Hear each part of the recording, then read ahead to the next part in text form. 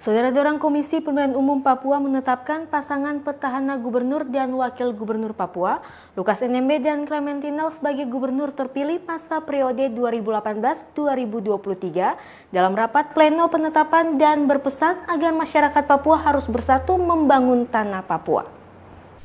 Pasca putusan Mahkamah Konstitusi yang menolak gugatan calon gubernur John Wempi Wetipo dan Habel Melkiasuai, Komisi Pemilihan Umum Papua Senin siang menggelar rapat pleno terbuka penetapan pasangan calon terpilih pemilihan gubernur dan wakil gubernur Papua hasil Pilkada 2018 yang bertempat di salah satu hotel di Jayapura, Papua.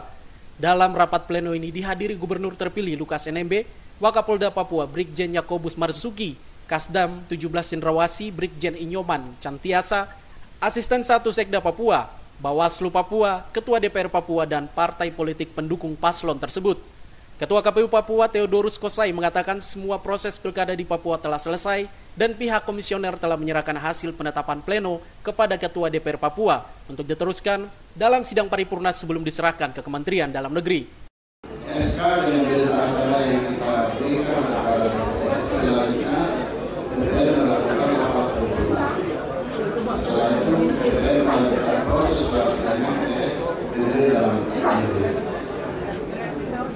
Rencana untuk melanjutkan Senin lagi Itu ranahnya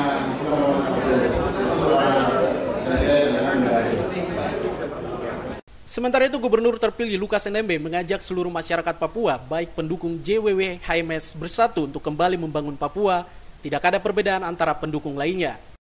Saya berharap kita tanggung jawab kita dalam masyarakat Papua dan luar biasa ini kita pikir sama-sama